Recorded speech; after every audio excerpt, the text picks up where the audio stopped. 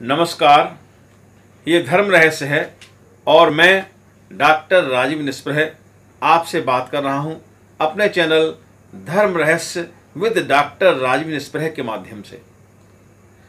अभी पिछले दिनों किसी ने मुझसे कमेंट करके पूछा कि क्या टेलीपैथी होती है?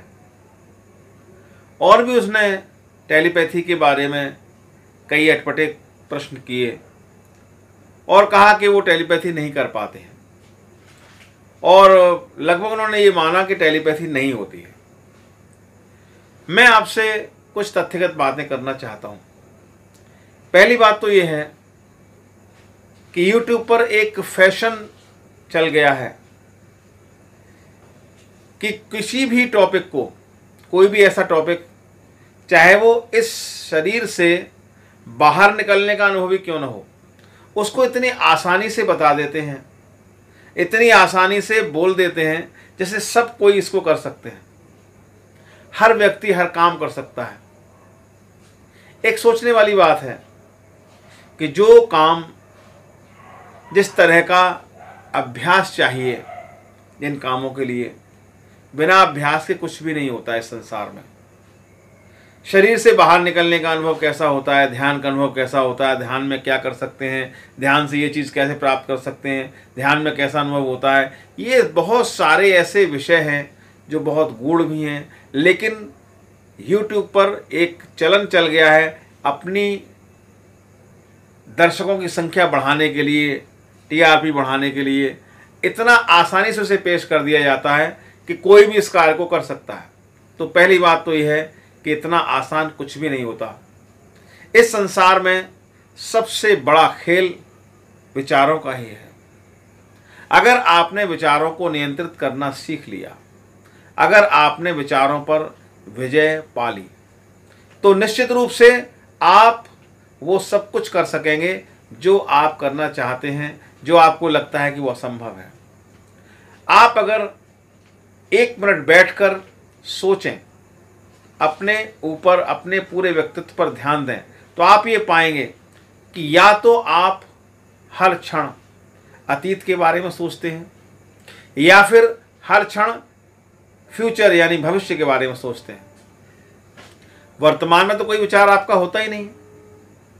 और जब ये विचारों का प्रवाह अतीत में या भविष्य की कल्पनाओं में चलता है तो वो प्रवाह आपके अंदर की ऊर्जा को, आपके मस्तिष्क की ऊर्जा को बुरी तरह से नष्ट करता है।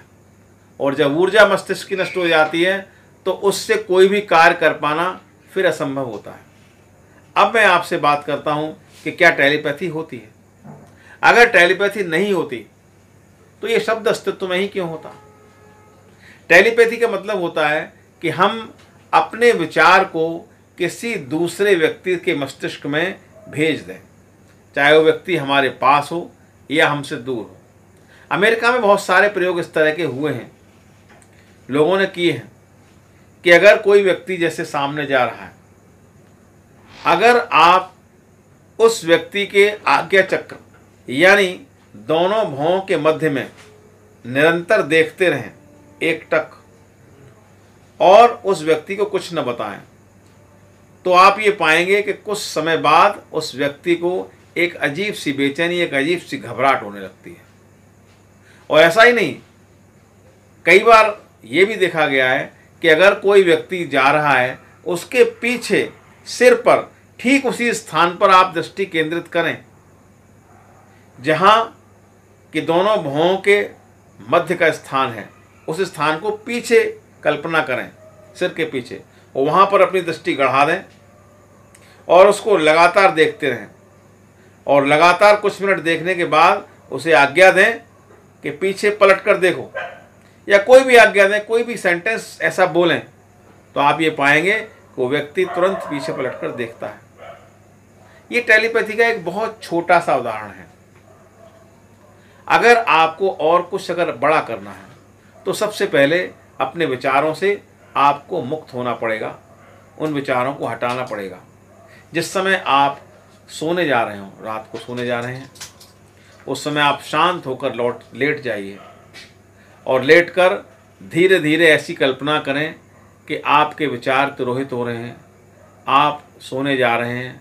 उससे पहले सभी विचारों को धीरे धीरे विदा कीजिए और एक क्षण जब आप सोने वाले हैं, सोने से ठीक पहले, जब कोई विचार आपके दिमाग में नहीं है, अगर आप उस क्षण किसी व्यक्ति का विचार अपने दिमाग में करते हैं, अपने प्रियजन का विचार अपने दिमाग में करते हैं, उसके बारे में कुछ सोचते हैं या उसे अपनी कोई बात पहुंचाना चाहते हैं तो निश्चित रूप से वो बात उस तक ज़रूर पहुंचेगी। लेकिन ये एक दिन के अभ्यास में नहीं होता। इसके लिए निरंतर अभ्यास की आवश्यकता होती है। इसलिए आपको अभ्यास करना है अपने विचारों से मुक्ति का। अगर ये आपने कर लिया तो टेलीपैथी बिल्कुल संभव है। ठीक उसी प्रकार जैसे मैं आपसे आमने सामने बात कर रहा हूँ, आप भी किसी दूसरे व्यक्ति से, लेकिन वो व्यक्ति आपकी जान पहचान का होना चाहिए। अगर जान पहचान का नहीं है तो विचार तो वहाँ पहुँचेगा, लेकिन वो आपको पहचानेगा नहीं तो फिर वो टेलीपैथी बनेगी नहीं। इसलिए आप इसको आसानी से कर सकते हैं, लेकिन इस अभ्यास के बाद। नमस्कार, इस वीडियो में इतना ही। अगर आपको अच्छा लगा हो तो इसे लाइक कीजिए, सब्सक्राइब कीजिए, और हाँ इस पर कमेंट ज़रूर लिखिए, क्योंकि आप जो कमेंट देते हैं, वो कमेंट पब्लिक तक पहुँचते हैं, पब्लिक उसे देखती है, और वो चीज़ें वहाँ तक पहुँचती हैं उनका ही भला होता है। नमस्कार।